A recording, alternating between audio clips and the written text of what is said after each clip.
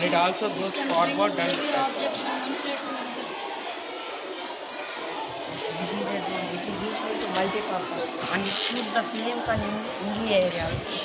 Now last years the women in army the women discharged the bomb. In nowadays the drone also discharge the bomb.